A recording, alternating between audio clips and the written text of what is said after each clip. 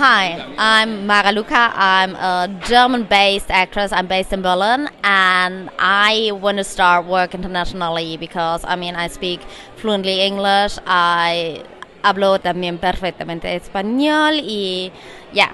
And so I'm here in Cannes to do that and I also have like a mentoring program for women.